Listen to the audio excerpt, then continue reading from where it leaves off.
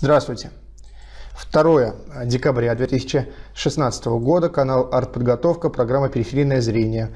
Меня зовут Сергей Окунев, мы вещаем из Московской области – из Одинцовского района, в общем-то, нашего Дома народов, пока он еще так называется, хотя мы, в общем-то, принимаем ваше предложение к названию э, этого места, которое в общем, уже стало легендарным, скажем так, да, вот мы сегодня очередной эфир ведем отсюда. Я вот занял место, в общем-то, Вячеслава Вячеславовича, э, поскольку у нас, в общем-то, в традиционном месте сегодня технические сложности появились, но я думаю, это не проблема, и в следующий раз мы вернемся к пианино, да, который стал уже таким э, традиционным. Вопросы вот нам задают, давайте с вопросов начнем. Первое спрашивают, будем ли мы в Питере э, в воскресенье. В воскресенье мы будем в Питере. Э, подробнее, я думаю, Вячеслав Вячеславович, в общем-то, расскажет в 21 час, да, то есть там будут прогулки оппозиции, мы в очередной раз всех приглашаем на прогулки э, по всей стране, не обязательно в Питере, в Москве, в, в общем-то мы знаем, что в Краснодаре, в Твери, в Тамбове, в Рязани, во многих городах России, в Владивостоке, кстати, тоже не стоит забывать, что это часть России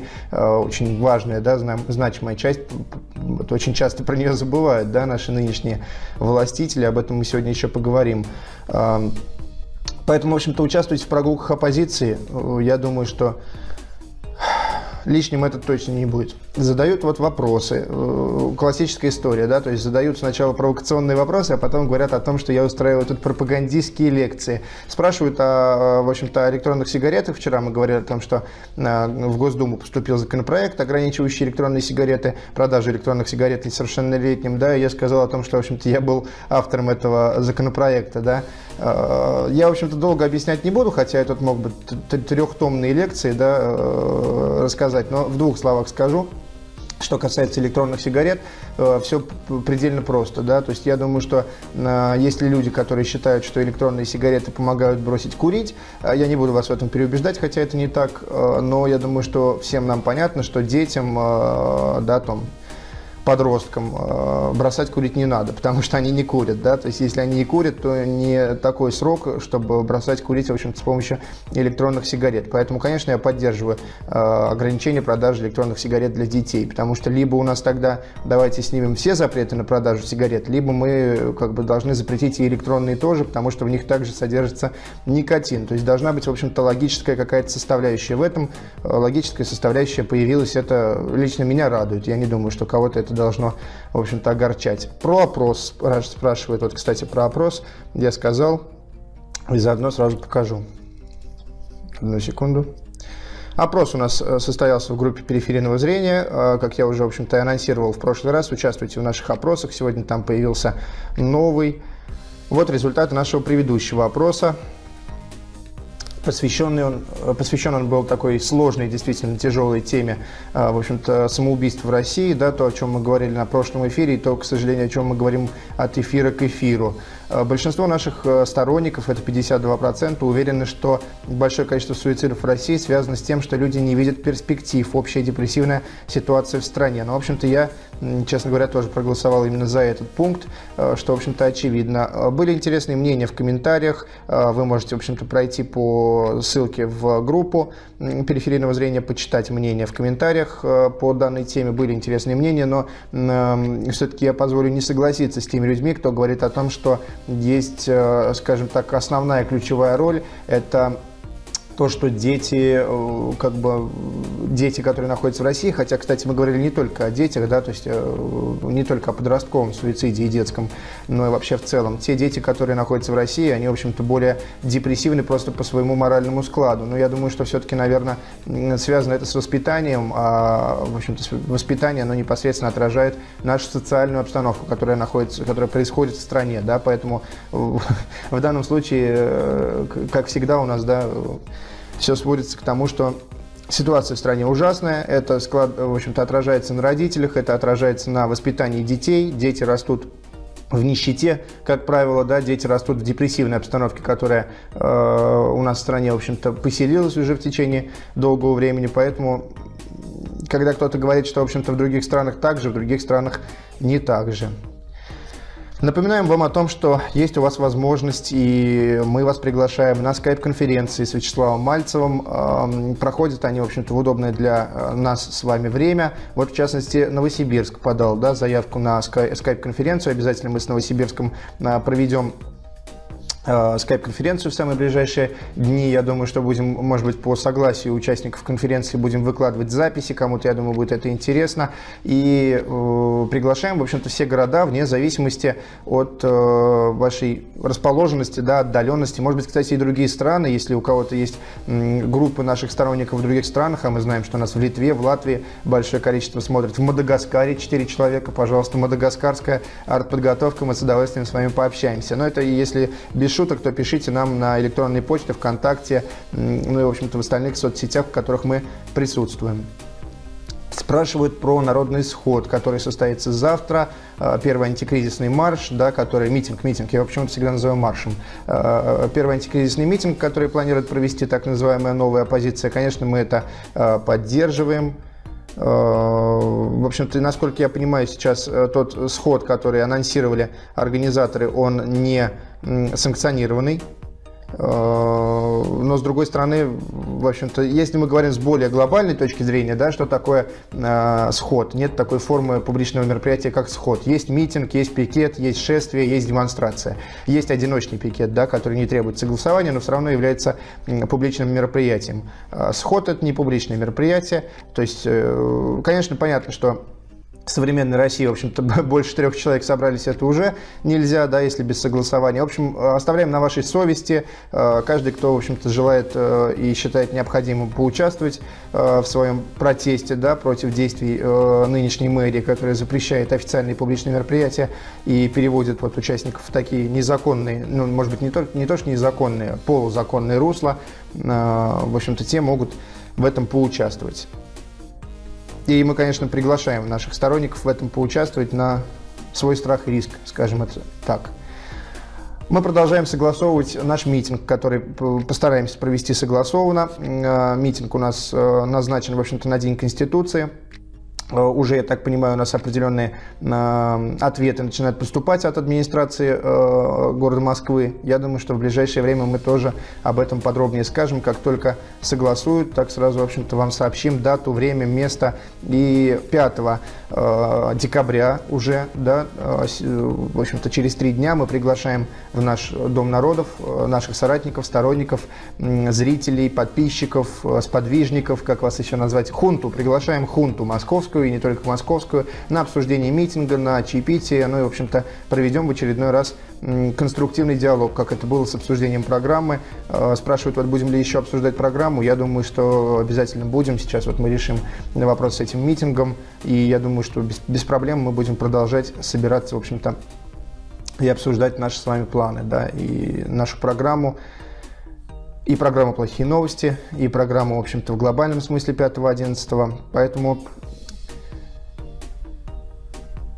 Поэтому, в общем-то, все хорошо. Идем по заданному курсу. Ну и переходя к новостям, э, новость, которую нам прислали наши соратники. Э, снег окрасился в зеленый цвет из-за аварии на предприятии на Урале. Речь идет о Магнитогорске. Вот такой замечательный снег там сегодня выпал э, утром. Такая действительно психоделическая с определенной точки зрения картина. Вот так она выглядит.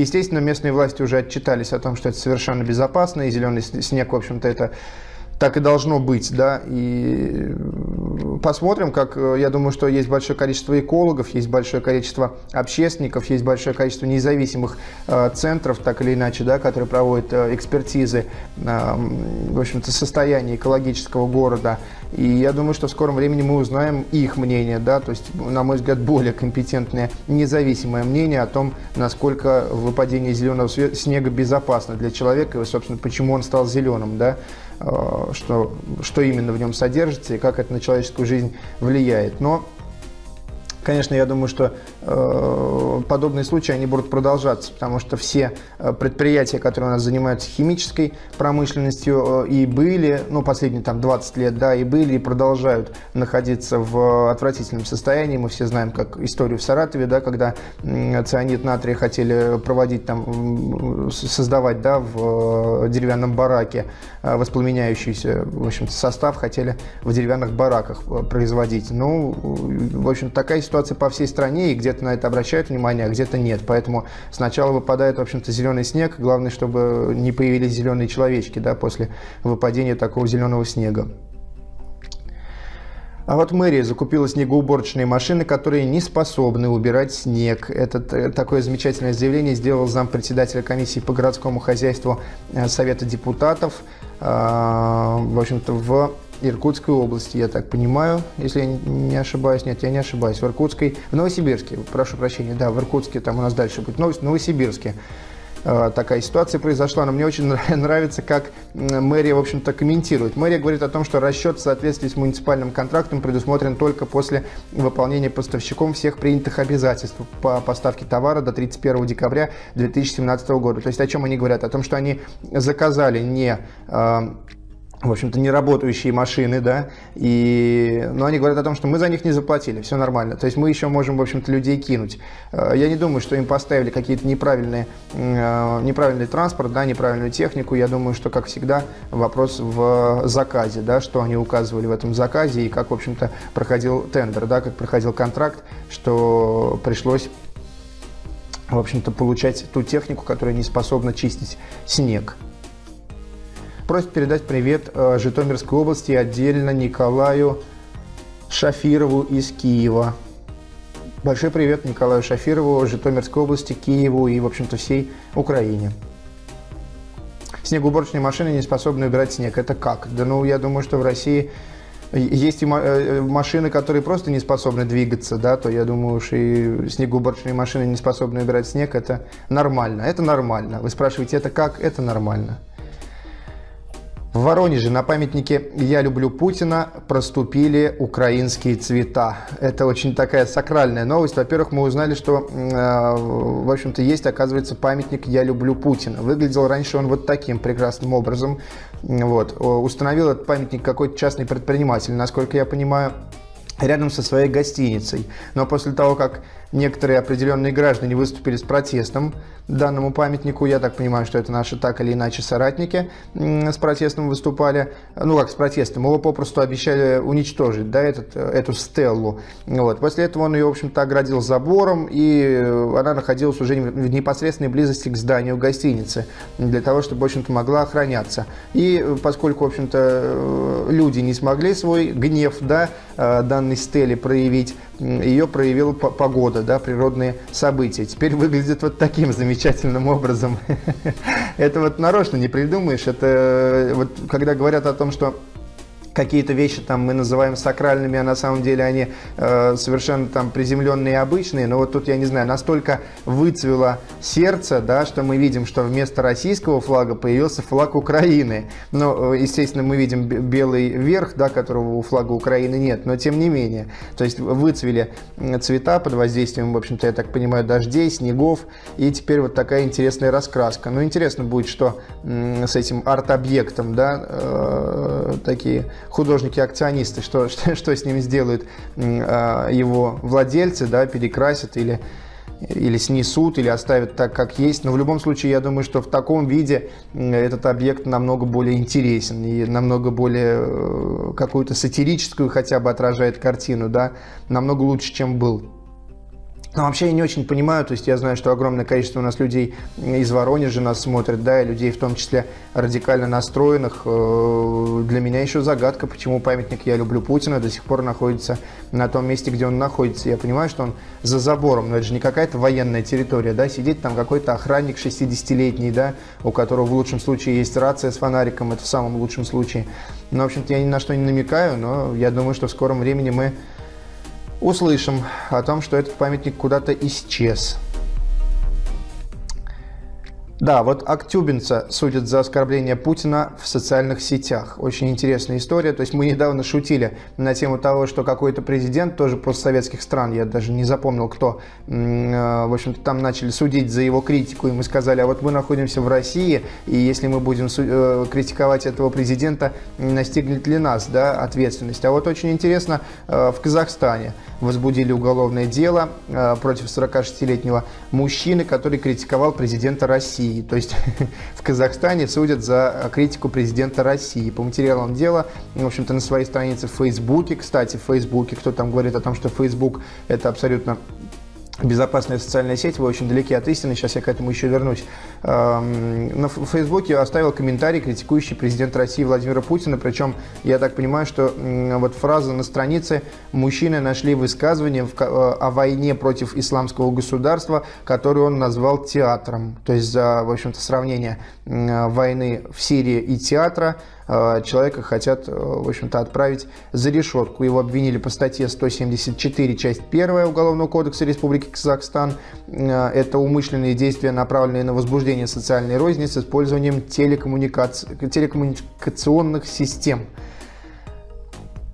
Да, ну и, в общем-то, подсудимый утверждает, что он просто выражал свое мнение пользуясь свободой слова и следуя Конституции. Здесь он, безусловно, прав. Я не читал, скажу вам честно, Конституцию э, Республики Казахстан, но я думаю, что там точно нет ответственности за какие-то комментарии в Фейсбуке о сравнении э, войны в Сирии с театром. Мы, в общем-то, и гораздо более жестко высказываемся, и не только мы, да, по войне в Сирии. Я думаю, что в Республике Казахстан на нас, наверное, давно бы уже возбудили уголовное дело. Посмотрим, э, что закончится, чем закончится конкретно вот этот случай, и будет ли вообще продолжение. Теперь, в общем-то, должен быть какой-то ответный акт, да, гуманизма. То есть э, теперь в России должны возбудить уголовное дело в отношении кого-то, кто критикует, в общем-то, Э, президента Казахстана или какой-то другой страны, но вот в данном случае Казахстана, потому что, в общем-то, ответочка такая должна быть, да, от нашего стола к вашему столу.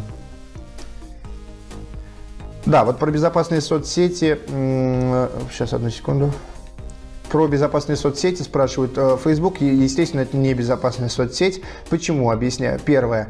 А, это субъективный фактор. Да? Субъективный фактор заключается в том, то есть мое мнение, э, о том, что Э, ну, давайте посмотрим, почему все называют Facebook безопасной соцсетью. Потому что ЦРУ в свое время э, высказался, в общем-то, с требованием э, к Цукербергу о том, чтобы он выдавал какие-то переписки там участников террористических актов.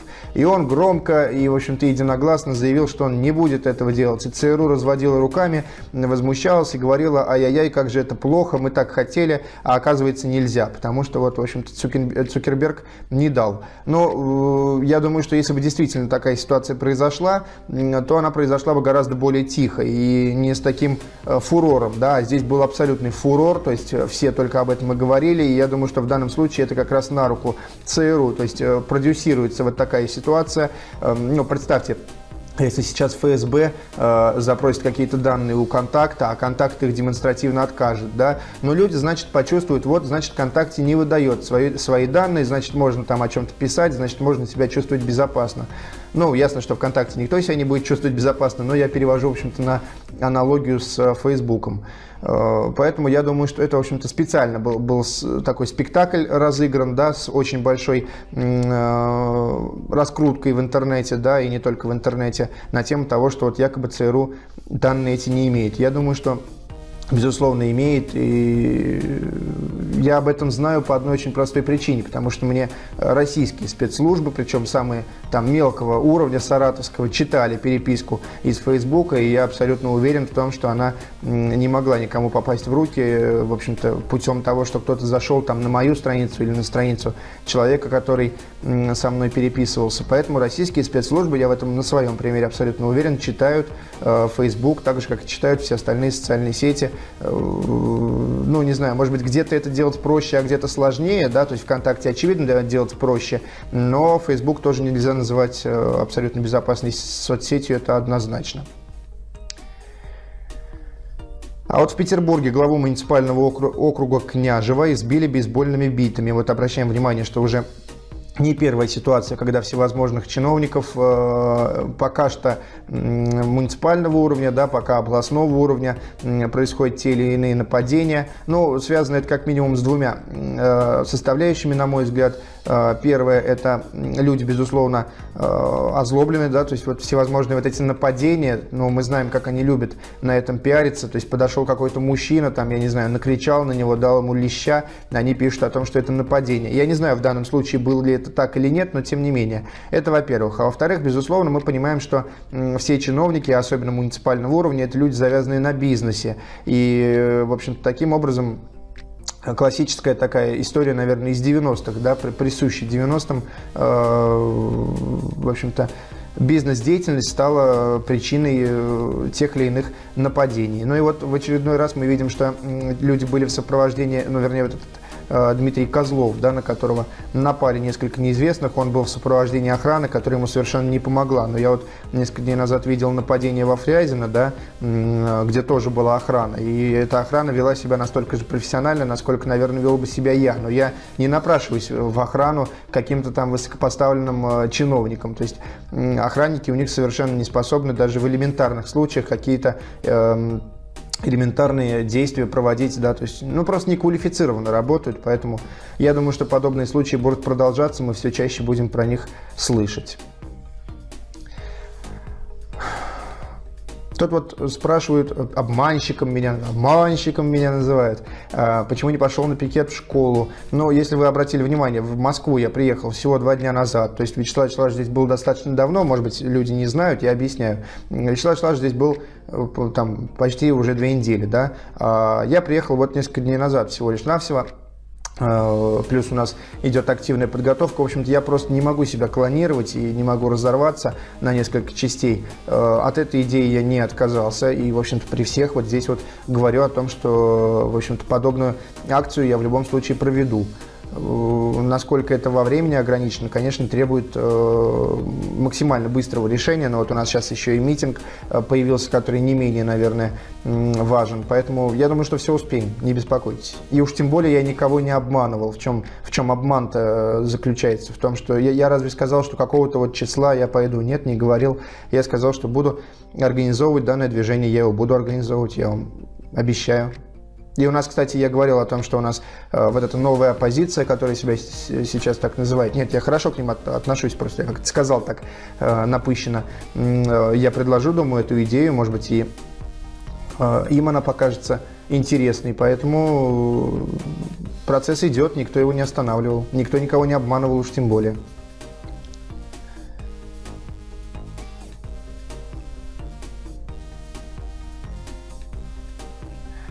Власти Первоуральска отказались расселять жильцов взорванной пятиэтажки.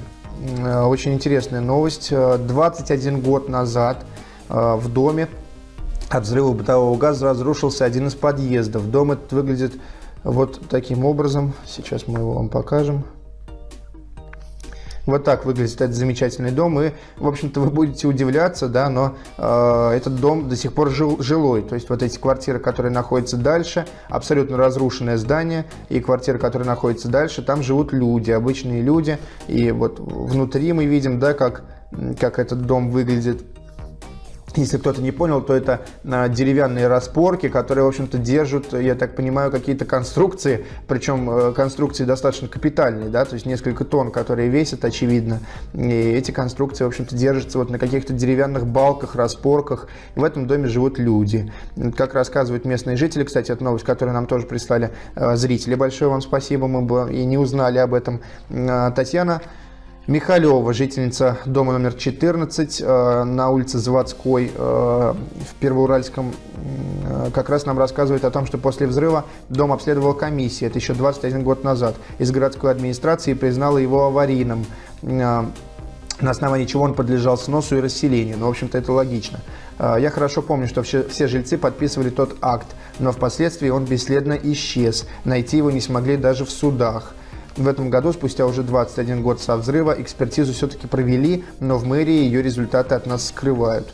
Ну, опять же, вот это классический пример. И когда мы говорили о том, что в прошлом году и в этом году происходят взрывы домов, а, взрывы газа в домах, да, и власти тут же неожиданно начинают а, устраивать такие конкурсы, кто из них больше меценат, да, и рассказывают о том, что они будут всех переселять, всем давать компенсации, там, каждому по 5 миллионов и так далее далее вызывает вопрос, да, то есть э, почему вот эти жители уже 21 год ждут, когда их переселят, а люди, которые, в общем-то, пострадали от такого же бытового газа, их тут же расселяют. Но э, это понятно почему, потому что в том случае, видимо, действительно был бытовой газ, какая-то обычная классическая ситуация. А вот в этих последних случаях, очень странных, да, когда проходят какие-то э, испытания э, новых газовых систем, выкладывают новости о том, что проходит испытание новых газовых систем, потом происходит взрыв Э, газа в доме, э, после чего эта новость о испытании газовых систем со всех информационных порталов удаляется. А людям всем говорят, да-да-да, мы ваши дома расселим, вам заплатим деньги, только давайте вести себя потише. Ну, надо, стоит задуматься, да, об этом. То есть не, мы вот говорим о том, что э, взрывается газ, о том, что люди, в общем-то, отапливаются самодельно, но тут, тут еще и вот такой субъективный фактор о том, что коммуникации все изношены. То есть э, я не удивлюсь, что большинство из тех взрывов, которые, в общем-то, списывают на каких-то пьяных там с окурками и с газовыми баллонами, на самом деле происходит по другим причинам. По причинам того, что изношенные коммуникации, по причинам того, что, в общем подается неправильное напряжение, да, то есть э, давление, давление газа. Э, я не эксперт в, газовой системе, но я думаю, нас и эксперты смотрят, поэтому напишите нам, если кто-то знает подробности подобных ситуаций, то я думаю, было бы интересно узнать. Власти Москвы назвали дату начала нового сноса самостроя. Это 5 декабря. Э, опять-таки через э, три дня э, как раз у нас здесь будет встреча в нашем Доме народов. Будем надеяться, что наш дом Воденцова не признают самостроем до этого времени, не начнут его экскаваторами, да, как ну погоди с этим, с таким чугунным шаром начнут махать и сносить дома. Надеюсь, что до этого не дойдет. Ну, это шутка, конечно, но тем не менее понятно, что все эти сносы самостроя и вообще как тот или иной дом, э, то, то или иное строение находится на этом месте уже там несколько десятков лет, тут его вдруг признают самостроем. Это во-первых. А во-вторых, мы знаем истории, очень популярное видео есть у Кумикадзе, которое в свое время э, разошлось большим тиражом, да, где мужчина рассказывает, показывает документы о том, что его строение не признано самостроем, и совершенно все официально, и у него есть 16 решений суда, 16 решений суда о том, что его, в общем-то, здание стоит здесь абсолютно законно. Однако мы знаем, что вот в, тот, в ту ночь длинных ковшей, которая происходила не так давно, это здание снесли.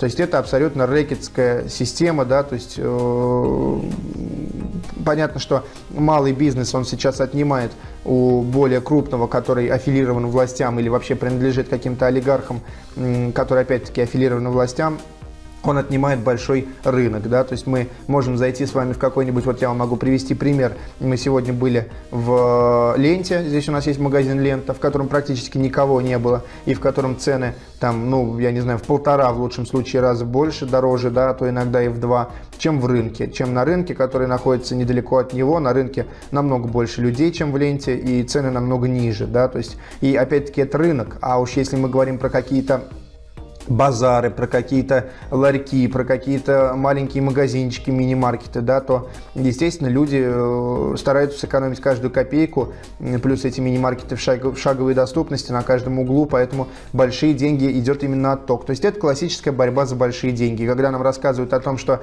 это какая-то борьба там с произволом, с самостроем, но это ах, глупость, безусловная.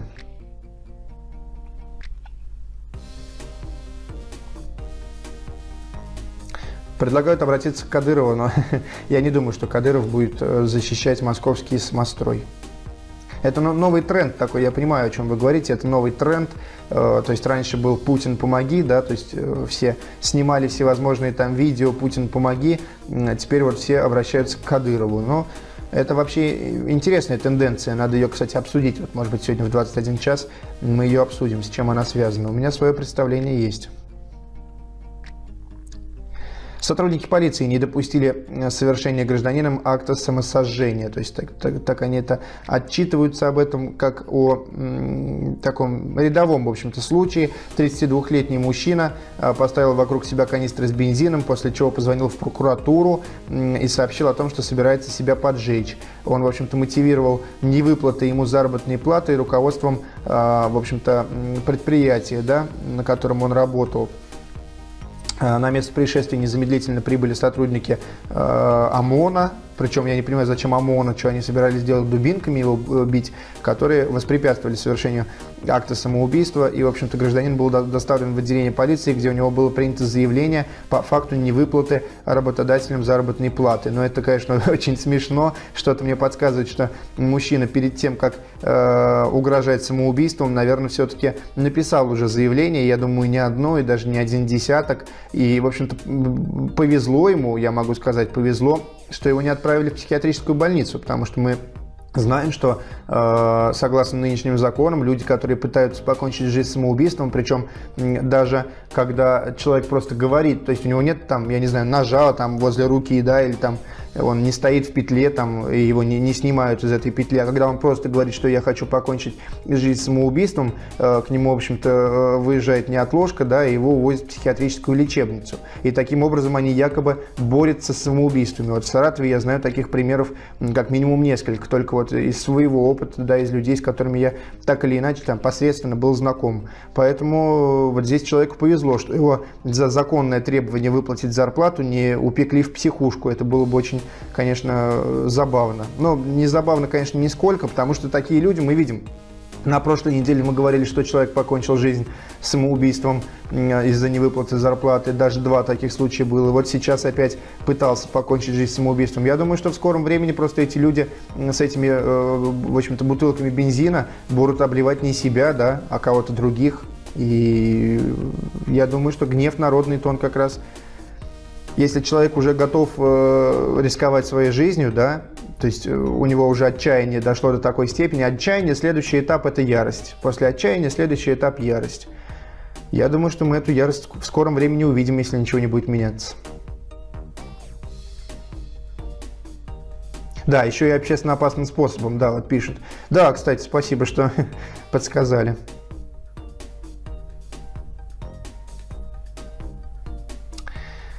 Валдае после драки со сверстниками госпитализирована школьница. Продолжаются истории с необоснованным насилием э, детей, да, подростков. То есть мы это видим уже на протяжении нескольких месяцев, даже не то что недель, а месяцев. Началось это все в сентябре, и, в общем-то, вот уже декабрь наступил. Кстати, всех поздравляю с э, наступлением первого месяца зимы. Я же сегодня первый зимний эфир веду, поэтому всех поздравляю. А, школьницу, в общем-то, избили, я так понимаю, подруги, 13-летняя. Э, После драки со, сверстник, со сверстниками она попала в больницу в тяжелом состоянии. Медики диагностировали у пострадавшей ушиб головного мозга, разрыв органа брюшной полости. Ну и, в общем по предварительной версии, драка между школьниками возникла по пути э, домой после уроков. Но я понимаю, что драки у школьников и у подростков были всегда. Но я говорю, что вот это грань, которую почему-то современные э, дети э, перестали чувствовать. Я не знаю, почему. Это, наверное, вопрос к каким-то психологам или даже, может быть, э, к психотерапевтам, к психиатрам. Да? Э, почему люди перестали, дети перестали чувствовать вот эту грань э, насилия. Да? То есть э, это очень интересно. И мы видим очень много случаев, когда э, какие-то там шутки, я не знаю, кто-то с кем-то играет в снежки, э, кто-то там больно попал кому-то снежком, э, второй там подросток взял арматуру и забил своего, в общем-то, обидчика до смерти, да, если помните, мы о таком случае рассказывали. То есть э, с чем это связано, как, как вот эта обстановка, которая у нас в стране происходит, да, как все то, что дети видят, на это влияет, ну, наверное, влияет, наверное, не в лучшую сторону. И это, в общем-то, проявляется и на своих сверстниках, и на взрослых, и на, и на животных, да, мы об этом знаем. Поэтому я думаю, что к сожалению, это может быть даже не столько волна, вот, которая сейчас, там, которая закончится через неделю или еще как-то, а, в общем-то, это такая э, раковая болезнь, да, э, такая метастаза нашего общества, которая, к сожалению, воспаляется с каждым днем все больше и больше, потому что дети смотрят по сторонам, и они видят, у них нету вот этого вата ТВ, вата ТВ на них пока еще не работает, они, в общем-то, объективно смотрят на вещи и, к сожалению, то, что они видят, наверное, не очень хорошо на них влияет. А вот житель Брянской области вернул долг по алиментам мелочью. Более 20 тысяч рублей монетами. А, в общем-то, житель города Унеча Брянской области принес судебным приставом. Но забавная такая акция, да, то есть он тоже, можно его назвать художником-акционистом. Принес 4 плотных мешка с монетами номиналом 1, 2 и 5 рублей. Но вот можете посчитать, сколько 20 тысяч рублей – монетами по 5 рублей будет, да, хотя бы по 5. Я думаю, что это очень большой объем, очень большой вес. Человек, в общем-то, подколол таким образом. Но, с другой стороны, понятно, что алименты нужно платить. Это безусловно. И почему-то сейчас, ну, это мое мнение, опять-таки, почему-то сейчас нарастает волна такого движения, да, когда, в общем-то, мужчины требуют э, на политическом уровне, да, то есть в целые политические организации объединяются, мужчины требуют освободить от, от уплаты алиментов, потому что это нарушает их права там и так далее. Но я думаю, мужчина, в общем-то, тем и отличается от женщины, что он должен нести ответственность за свои поступки, да, то есть если уж ребенка заделал, то ясно, что я не сторонник тех, кто живет там всю жизнь с какими-то людьми, а просто потому что у них общий ребенок, безусловно, я не сторонник таких мер, но нужно, в общем-то, своих детей поддерживать и всевозможно, в общем-то, участвовать в их воспитании. Иначе получаются вот такие случаи, о которых мы говорим раньше, да, либо с суицидами, либо с убийствами, либо с э, какими-то, я не знаю, актами насилие. Это неправильно. Это в том числе, конечно, от воспитания происходит. Обладминистрация выделит ветеранам по 1500 рублей. Такая вот замечательная акция. Аттракцион невиданной щедрости, я бы это назвал так. 28 ноября администрация Волгоградской области, вот я сразу э, к Саринформу да, обращаюсь, который это написал. Нет администрации Волгоградской области, есть правительство. Но это просто так, я поправить. Правительство Волгоградской области выступило с постановлением о единой денежной выплате в связи с празднованием 74-й годовщины разгрома советскими войсками немецко-фашистских войск в Сталинградской битве.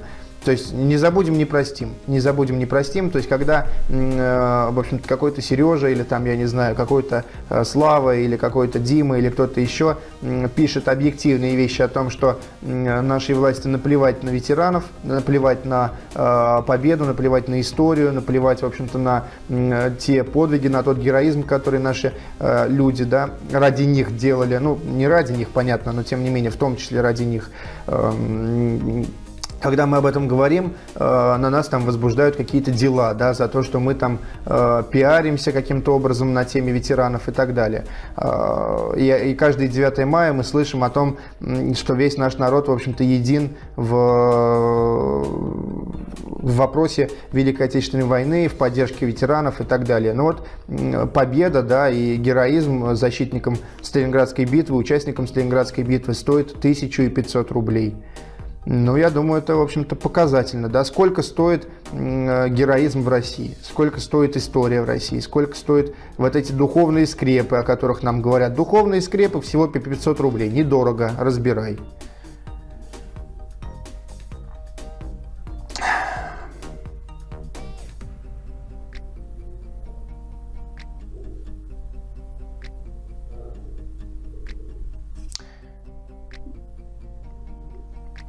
Мальцев обидится на какой-то там славу, да бросьте.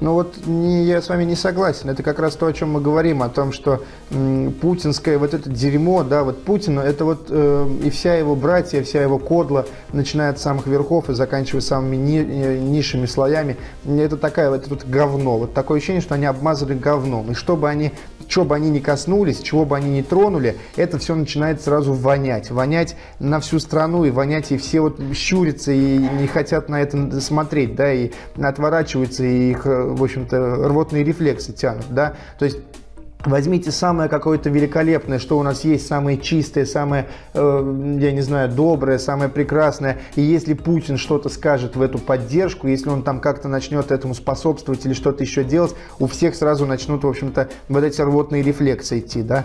Поэтому, безусловно, я э, чувствую то же самое, что и вы, каждое 9 мая, наблюдая за тем, как, в общем-то, э, праздник э, Великой Отечественной войны, да, праздник Победы, превращается в очередную пиар-акцию Единой России, в очередную пиар-акцию э, Путина. Да? Путин у нас, оказывается, главный победитель, он там воевал в Великой Отечественной войне в Великой Отечественной войне, да. Конечно, мне это тоже все очень неприятно, очень сильно неприятно. И все эти хирурги и, и так далее, все это, конечно, очень как раз вот рвотный рефлекс вызывает. Но нужно уметь смотреть вот сквозь это дерьмо, которое они, которым они все пачкают, да. Э, конечно, великое, великое событие, война, странная фраза, великое событие, война, но оно, в общем-то, великое, да, то есть, э, ну, нужно Ладно, это более такой глобальный вопрос по Великой Отечественной войне, можно долго о нем рассуждать. Основное, что я хочу сказать, э, все вот эти можем повторить, да, о которых э, постоянно вспоминают наши патриоты, патриоты, да, и ватники, можем повторить, но, наверное, наши деды и прадеды делали это, в общем-то, жизнью своей рисковали, а многие жизнь свою положили, чтобы это никогда не повторялось. А Вова, Вова, сейчас как раз делает так, чтобы, в общем-то, это все повторить и повторить в гораздо большей степени. Поэтому Вова главный фашист. И сейчас главный фашист Вова награждает борцов с фашизмом в Сталинграде тысячу и 500 рублями, да. Ну а что еще можно ожидать от главного фашиста? Вот нам говорят, если бы Гитлер захватил. Но я не знаю, что бы было, если бы Гитлер захватил. Но вот Путин, мы видим, что происходит, когда Путин захватил.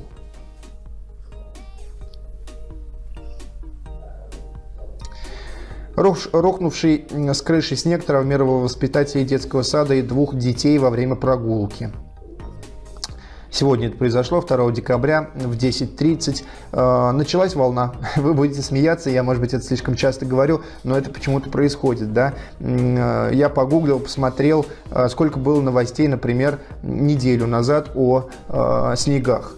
Э, ну, о том, что падает снег, сосульки, лед и так далее. Очень мало. Вы мне можете сказать, что неделю назад было теплее. Но вот я могу сказать, что неделю назад в Москве был снег везде. Вот сейчас снега нет. Я могу сказать, что неделю назад был в Саратове везде снег. Сейчас снега нет. А в Сибири так уж там, наверное, я не знаю, месяц уже снега лежат, да? Поэтому это не аргумент. Неделю назад практически не было новостей. Тут вот громкий случай в этой Кемеровской области да, с падением снега. Благо там никто не пострадал, серьезно сразу вам скажу. А в Красноярске упавший снег с крыши разбил несколько автомобилей говорят о том, что девушка там еле успела отпрыгнуть, но вот если бы не успела, то, может быть, более мы э, как бы печально бы об этом говорили, да. А, сбивая сосульки, монтажник завода «Оргсинтез» разбился насмерть 46-летний э, мужчина, да, в Нижегородской области. 1 декабря это произошло. И э, продолжается, продолжается эта волна Будет она сейчас только набирать обороты, к сожалению, э, поэтому обращайте внимание, вообще всегда не имейте привычки ходить э, возле домов. Это вот э, совет вам такой очень, очень серьезный, на самом деле, без шуток. Летом, зимой не имейте привычки ходить впритык с домами, потому что, ну, по очень многим причинам, да, то есть, во-первых, вы себе определенный маневр ограничиваете, да, во-вторых, мы знаем, в каком состоянии фасады домов, падают балконы, падают кирпичи, даже какой-то кусок штукатурки, вот такой небольшой кусок штукатурки, упавший с девятого этажа вам на голову, может очень серьезные последствия принести, да. А, в случае ветра, опять же, то есть с крыши что-то может упасть, оторваться какой-то лист металлический, что угодно. Понятно, что вы себя не можете обезопасить нигде, и в нынешних условиях в России, вот здесь я сижу и подвергаюсь огромной опасности, и вы даже сидя дома там подвергаетесь опасности, может газ взорваться, может еще что-то произойти. Э, поэтому э, все равно вот имейте это в виду, конечно. И обращайте внимание на козырьки. То есть вот я вам могу сказать по своему козырьку, да, то есть у меня был абсолютно разбитый, разрушенный козырек возле дома, э, бетонная такая плита. Я воевал, воевал с управляющей компанией, и, в общем-то, в итоге просто мы с двумя товарищами после скандала разбили этот бетонный козырек окончательно, то есть у меня теперь нет козырька, потому что это намного лучше, потому что, выходя из дома, я могу хотя бы посмотреть наверх, увидеть, есть там сосулька или нет, и пройти. А если, э, в общем-то, зимой э, выпадет какой-то снег, и этот бетонный козырек просто э, упадет мне на голову, то есть не снег упадет, от, от снега он меня точно не защитит, но он может, в общем-то, сам стать причиной травм, да, моих или там моих близких. Поэтому обращайте внимание на состояние своего э, дома, своего фасада, своего подъезда, в том числе мелочи. Это всегда мелочи. Вот как есть такая фраза, смерть это то, что бывает с другими, да. Все, все думают, что смерть это вот нечто, к чему мы идем. Это философский разговор, я понимаю, но все равно к чему мы идем, к чему мы стремимся, там, длимся. И, и вот как-то это всегда так происходит э, радужно. Как правило, это все не так. Да? Как правило, вот человек вышел, споткнулся, упал, разбил себе голову и умер. Такое, к сожалению, бывает. Иди сюда, ничего страшного. Ты что-то хотел сказать? Да. Да, у меня эфир. А, то есть это терпит? Да. Все, понял. Прошу прощения. А, последняя новость на сегодня у нас четверть миллиона рублей заплатят за неубранный снег в Ижевске. Вот опять очередная история да, со снегом продолжается. 56 протоколов уже составлено в Ижевске. Что происходит? Я вам объясняю. Казалось бы, так хорошо. То есть власти Ижевска заплатят деньги за то, что они не убирают снег. Замечательно, это же прекрасно, правильно? Э, если бы так, заплатят управляющие компании. И вы скажете, это же тоже замечательно. Вот эти жулики, воры, которые э, в системе ЖКХ воруют, они заплатят наконец-то за то, что не чистят там дворы, крыши и так далее. Или начнут их чистить, и вообще все будет замечательно, перестанут падать сосульки на голову людям. Опять-таки, я был бы очень рад, если бы произошло так, но, увы, нет. Увы, эти деньги заплатим мы с вами, потому что все штрафы, которые накладываются на управляющие компании, ТСЖ, ЖСК, э, в общем-то все формы да, жилищно-управляющих компаний, они э, впоследствии, в общем-то, накладываются на нас с вами, потому что это все мы видим, отражается в наших платежках. Я работал в системе ЖКХ, я писал о коррупционных сферах э, системы ЖКХ, и я знаю, как это происходит. В 9 из 10 случаев, если управляющая компания получила какой-то крупный штраф, за что бы то ни было, э, этот штраф будут оплачивать жильцы по причине того, что будут расти какие-то странные там в платежках пункты, да, и причем вы этого даже можете не заметить, у вас это вырастет там на 200 рублей, может быть, даже вы и не обратите внимания, а если мы посмотрим в масштабах всего вашего дома, а в управляющей компании, как правило, несколько домов, а иногда и несколько кварталов, несколько десятков, там иногда сотни домов, да, в крупных управляющих компаниях, все это в общем-то, э, будет э, отражаться на наших с вами кошельках. Вот тут меня критикуют критикуют на тему того, что я перенес эфир со вчерашнего дня на сегодняшний, потому что обещал гостей. Поясняю. Действительно, у нас должны были быть гости, определенные активисты. Я не буду э, говорить, какие активисты, потому что ну, я не хочу с ними иметь конфликт. Не в плане того, что я боюсь, а в плане... это смешно, я никого не боюсь. Ну, э, их я точно не боюсь.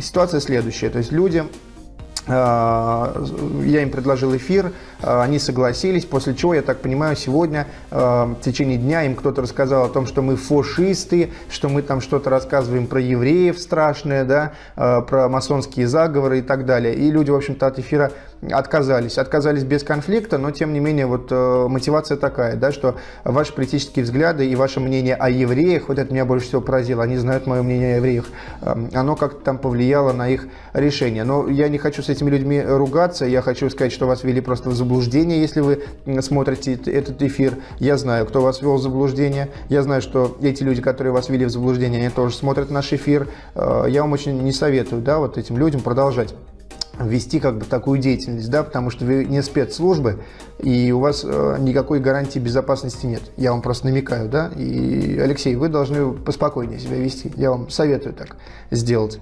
Вот. Поэтому Активисты эти, если хотите, давайте мы с вами увидимся без камеры, я вам, в общем-то, а, с вами пообщаюсь совершенно спокойно, может быть, я как-то эксцентрично об этом рассказываю, извините, я совершенно спокойно готов с вами пообщаться без камер, вы увидите, кто у нас фашист, да, как у нас выглядят главные фашисты России, и я не, уж тем более не хочу вас там как-то тянуть к себе в эфир, если у вас нет такого желания, но если у вас есть какие-то вопросы, которые э, остались э, нерешенными для вас, да, я бы с удовольствием вам э, подсказал ответы на эти вопросы и подсказал бы определенные вещи о тех людях, э, которые, да, вот такую информацию о нас такую распространяют. А этим людям я очень советую, в общем-то, закрыть те отверстия, из которых поддувает. Давайте на вопросы поотвечаем, дорогие друзья, на ваши вопросы.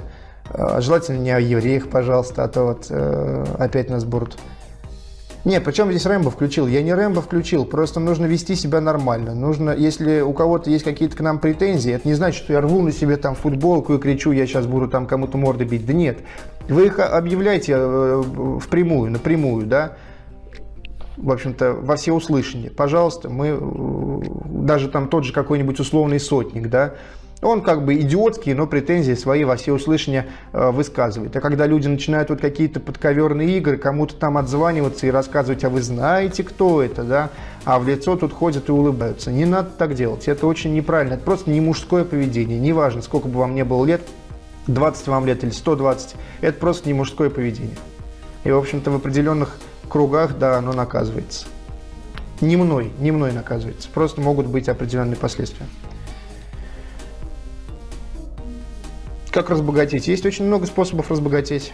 Нужно э, иметь желание в первую очередь. И э, да, желание, даже я думаю, вот здесь только одного желания достаточно. Нужно определенный склад ума иметь, да, определенный склад менталитета. У меня, например, нет такого менталитета и склада ума. Я всю жизнь работаю за копейки. И никогда об этом не жалею. Я рассказывал о том, что я работал за 3000 рублей в месяц. Совершенно официально. У меня не было никаких сбережений. Я жил на 3000 рублей в месяц. Ну, там мои друзья какие-то мне помогали у которых тогда было попроще с деньгами, сейчас у меня попроще с деньгами, я им помогаю, ну, то есть это обычная ситуация. То есть я не могу э, там, зарабатывать деньги, я знаю, потому что у меня нет такого склада ума, чтобы я где-то переступал через свои там моральные принципы ради заработка денег. А, к сожалению, так иногда приходится делать. Поэтому, в общем-то, сделайте для себя, поставьте для себя вопрос, на что я готов идти ради заработка денег, да. Если готовы на многое, то, наверное, вы можете и зарабатывать деньги серьезные, большие в этой стране. Но я вот, например, не могу.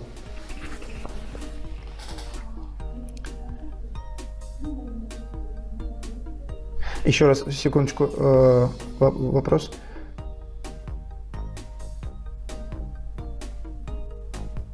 Сергей, я иногда, пис... Э, может быть, и писал в чат то, что противоречит вашей точке зрения, но спешу уверить, я на вашей стороне, грибочек великий.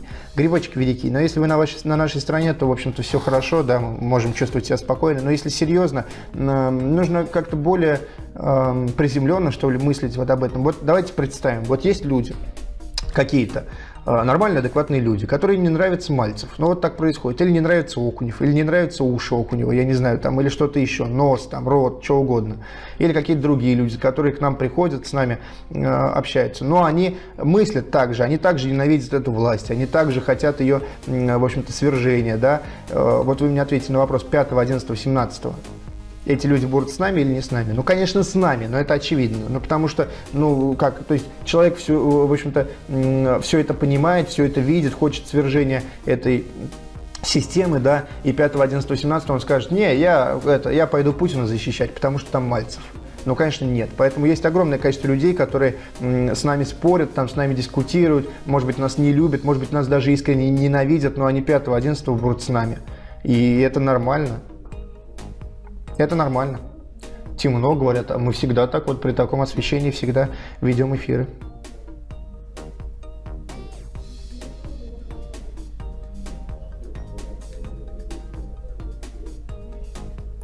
Не понял, что про цветную революцию.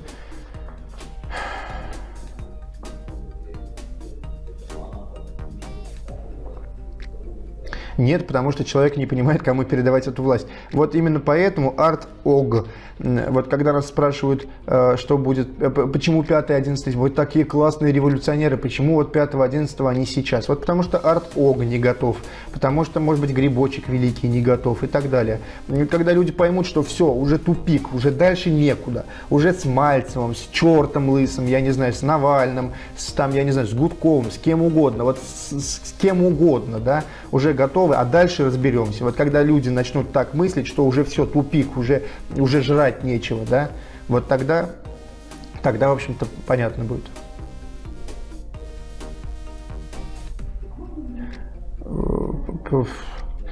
Просят рассказать, что произошло на дороге, конкретно, когда дядя Слава вас э, спасал на, от трансформатора. Да ну, тут Т-образный перекресток, причем, если бы он был вот таким, да, вот видно меня сейчас, давайте я вам прям схему рисую. Вот такой Т-образный перекресток это одно, а он был вот таким Т-образным перекрестком. То есть мы двигались вот по этой дороге, и вот здесь разворот, он даже не то, что там вот такой, да, не, не вот такой, а он еще сильнее. То есть там нужно развернуться чуть ли не на, там, не знаю, не на 300 градусов, да.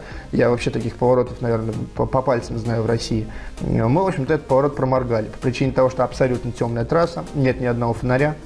И вот, этот, э, вот эта дорога, по которой мы едем, она упирается в трансформаторную будку. Вот. Э, знак э, находился примерно за 10-15 метров до поворота, что, естественно, неправильно, это совершенно глупость.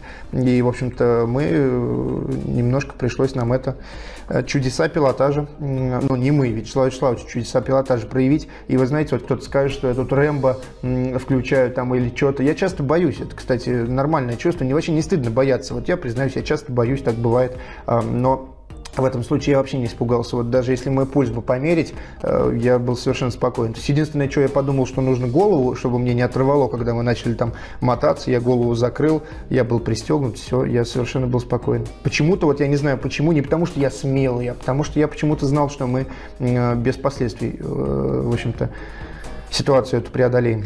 Но я думаю, что 90% людей, которые нас смотрят, э, которые поддерживают Вячеслава Вячеславовича, посидели бы в этой, в этой ситуации, потому что мы, в общем-то, очень были в сложной такой, в сложную аварию могли попасть, да, с большими последствиями.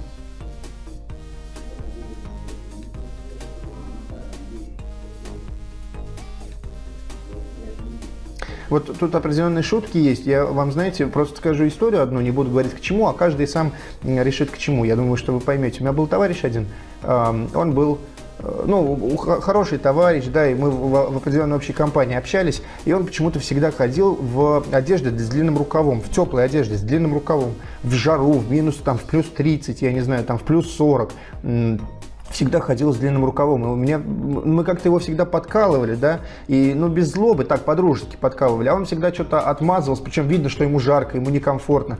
А он как-то всегда так обходил эту тему, да, там тоже отшутивался и что-то в этом роде. А потом выяснилось, что у него рак кожи. И ему просто нельзя было загорать.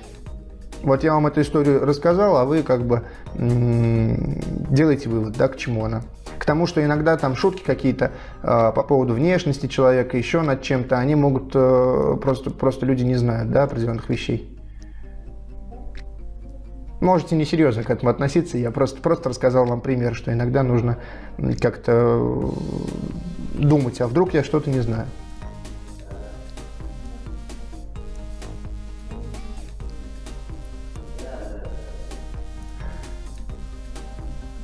Так, еще раз.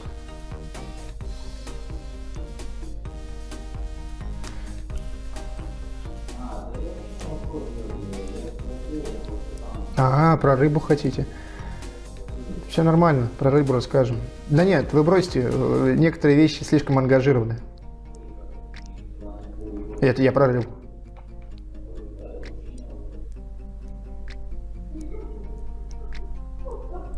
Хочу ли я быть примером? Вот знаете, у меня вопрос такой был записан, вот он у меня прямо вот здесь вот в сценарии, самым первым был записан, о котором я хотел поговорить. Он у меня написан о популярности – вот я хотел о нем поговорить, давайте я поговорю о нем в следующий раз. Это важный и интересный вопрос. О том, что многие там пишут, о том, что я там рвусь какой-то популярности. Я вот свою позицию, давайте чуть позже об этом скажу. Пожалуйста, назовите, когда будет следующий раз. Спасибо за прекрасную познавательную передачу. Спасибо вам, Андрей, за то, что вы нас смотрите и, и вообще как бы за поддержку. Да? То есть она очень э, радует. Вот сейчас меня порадовали, у меня как-то так, я немножко в какое-то депрессивное состояние впал на несколько секунд, вы меня порадовали. Спасибо. Следующая передача. Вопрос актуальный. Я думаю, что если все по плану, то это на вторник. Давайте, наверное, так определимся. А, в, чет... в, в воскресенье, все перебрал, в воскресенье мы будем в Питере. И может быть, может быть, я выйду в эфир из Питера. И может быть у нас будет какой-нибудь гость. Я постараюсь но не обещаю, потому что не знаю, как наша поездка пройдет. Если пройдет э, хорошо, то ну, все по плану, если будет идти, да, то я думаю, мы, э, в общем-то, какого-то гостя в Питере выловим. Возможно, может быть, не очень знаменитого, но нашего соратника с ним пообщаемся. Я думаю, вам будет интересно.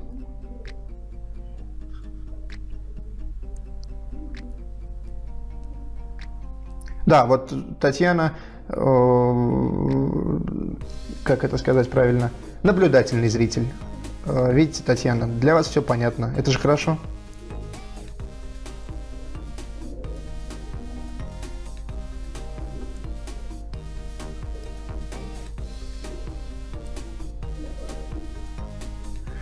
Длинный вопрос, долгий. Э, давайте отвечу на него обязательно когда-нибудь. Нет, Эдик не болеет, он не в Анапе, он в Саратове. Вы его, во-первых, слышали во время выборов, когда он был в Москве. Сейчас он в Саратове, я его видел последний раз, наверное, в сентябре, и как-то так, не знаю, как-то он меня немножко расстроил. Так вам скажу. Не, не в смысле, что он там как-то меня обидел там или что-то, а просто как-то я, я его увидел и немножко расстроился. Так иногда бывает. Даже не он меня расстроил, а просто на мысли определенные навел. С ним все в порядке. Ладно, я что-то пугаю. Все хорошо с Эдиком, он в Саратове, все нормально. Ну, сейчас я, кстати, не знаю, может, он где-то не в Саратове, но, но с ним все хорошо.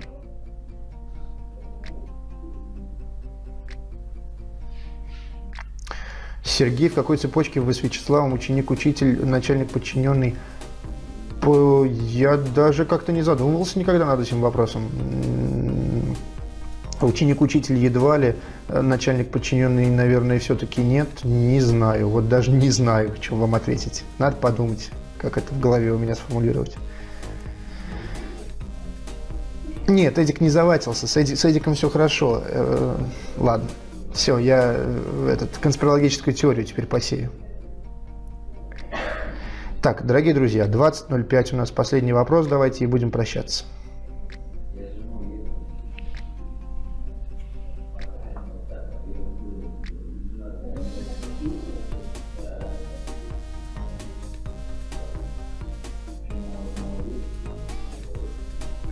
Что вы будете делать, если все-таки Гитлера, э, Путлера, простите, Путлера не скинут? Умирать будем, что мы будем делать?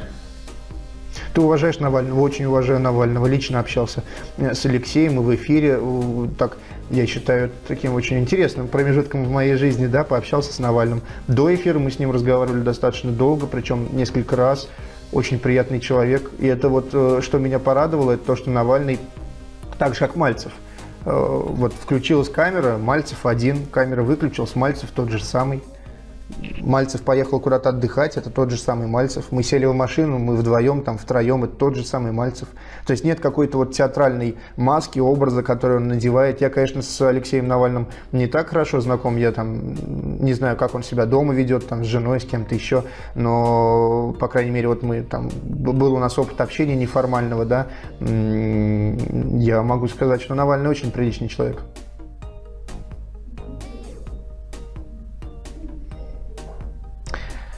Все, Серега, до 21.00.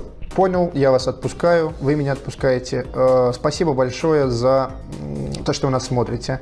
Э, в 21 час мы с вами встретимся в плохих новостях. Э, там будет очень много интересных, важных вопросов. Напомним, что это последние плохие новости у нас на этой неделе, крайние, крайние плохие новости, поэтому все наши перемещения в понедельник, в воскресенье, в субботу мы сегодня о них объявим.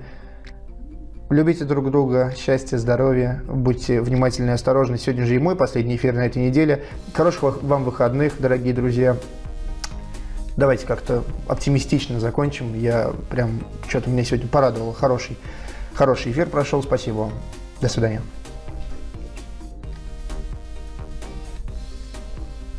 О, свет, да будет свет.